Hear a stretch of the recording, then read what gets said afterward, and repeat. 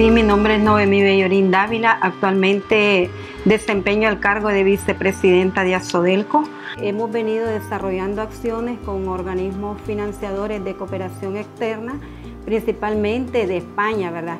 Con solidaridad internacional, pues hemos venido desarrollando un sinnúmero de acciones eh, que se enfocan prácticamente en el municipio de San Carlos y el Castillo.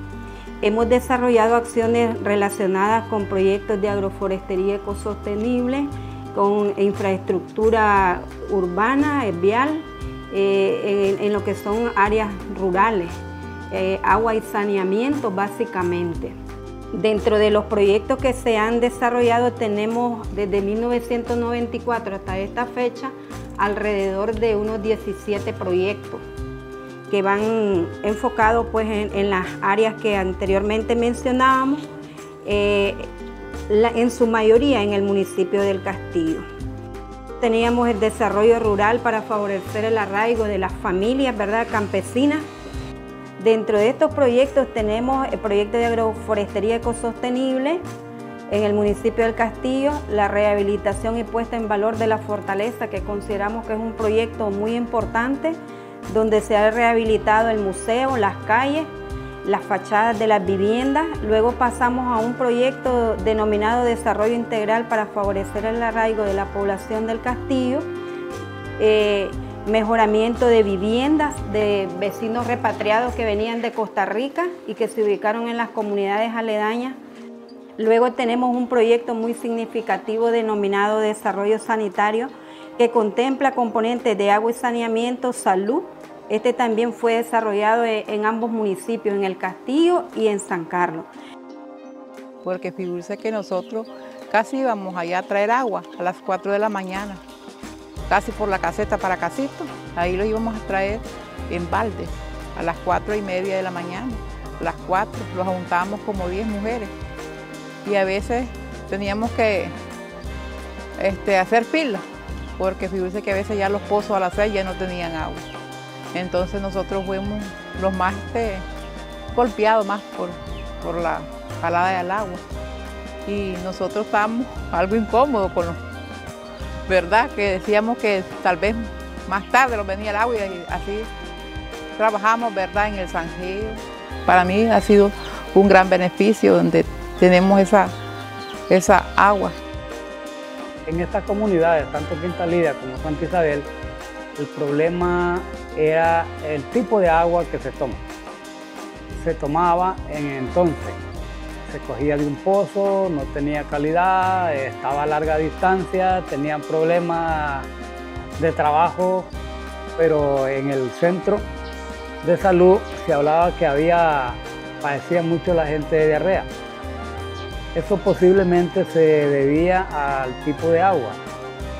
Después de que se instala el proyecto, se hizo una pequeña encuesta para ver el cambio de las personas en cuanto a eso, al sistema del aparato digestivo y ha bajado. Este proyecto, además de la colaboración internacional, aquí ha habido eh, la colaboración del gobierno local con la compra de la fuente y la otra colaboración ha sido de los usuarios en el cobado de zanja. Esa es una, una parte que hace el complemento del proyecto. El 2010 comenzó solo con el agua por gravedad, con todas las malezas e impurezas que tuviera que manda la fuente. En cambio, ya el 2011 no. En 2011 el agua que pasa a cualquier parte de los usuarios es un agua, yo digo así, sabrosa, de calidad porque ahí ya se han hecho muestras en la universidad con respecto del agua y aparece 100% bien. Apoyo a la rehabilitación de viviendas en sectores semiurbanos. Este también tuvo que ver con aquellos reasentamientos que se crearon en los años 83 y en los barrios periféricos de la ciudad de San Carlos. Eh, también tenemos otro proyecto de rehabilitación de viviendas en las comunidades de algunas que abordan sobre la ribera del río, como es Medio Queso, eh, Santa Rosa, La Ñoca y el poblado de Boca de Sábalo. Un poco para ir mejorando también la estética de, de las infraestructuras que están ubicadas sobre la ribera del río, con atractivo turístico. Mejoramiento de la infraestructura urbana del barrio Linda Vista, que es otro de los, de los barrios periféricos de la ciudad de San Carlos, que ha sido pues, uno de los barrios recientes, creados ¿verdad? recientemente. Posteriormente pasamos al sistema de agua comunal del poblado de Boca de Sábalo, que este se ha desarrollado en varias fases.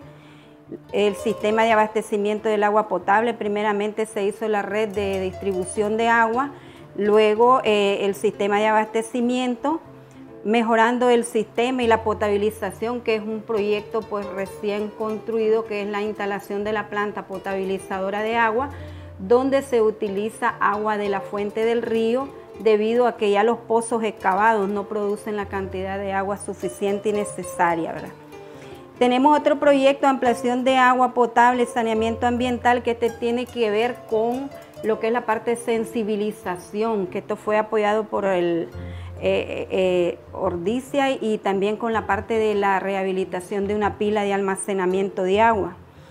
Y tenemos el proyecto de construcción de letrinas jaboneras secas también sobre la ribera del río, que este proyecto también se ha acompañado para, para contribuir al mejoramiento de las condiciones higiénico-sanitarias, mejorando un poco la calidad también. Esto viene a contribuir a mejorar la calidad del agua de consumo que la gente utiliza, ¿verdad?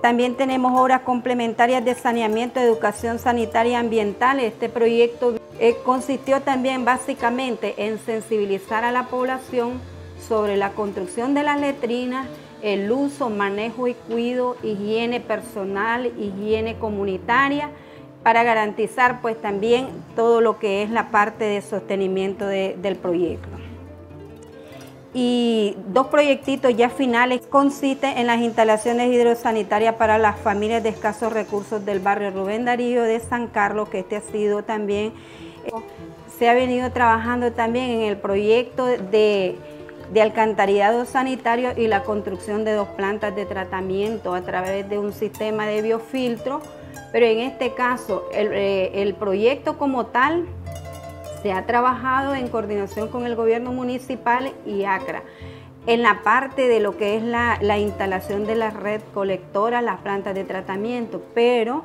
las familias tienen que garantizar las instalaciones hidrosanitarias intradomiciliares y domiciliares ¿verdad? de sus viviendas. En este caso, estos proyectitos han venido a contribuir para que las familias de escasos recursos que no tienen la capacidad económica para instalarse se le ha donado material y Asodelco maneja un fondo de crédito para aquellas personas que ya tienen un trabajito, que sus condiciones económicas son diferentes, pues se han auxiliado para, para garantizar ese trabajo y poder ir instalándose a este sistema que luego pues entrará en su fase de funcionamiento.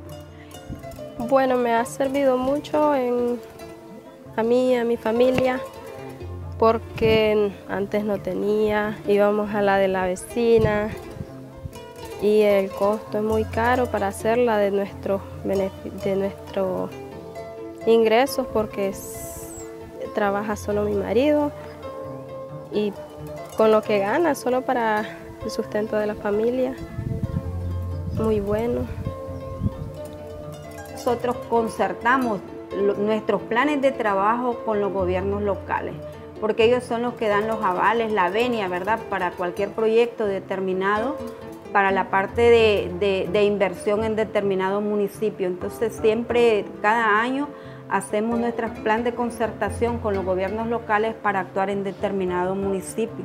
Actualmente estamos en una fase de preparación de identificación de otros proyectos para continuar porque las necesidades son muchas, la gente demanda necesidades básicas que nosotros no las podemos cubrir en su totalidad.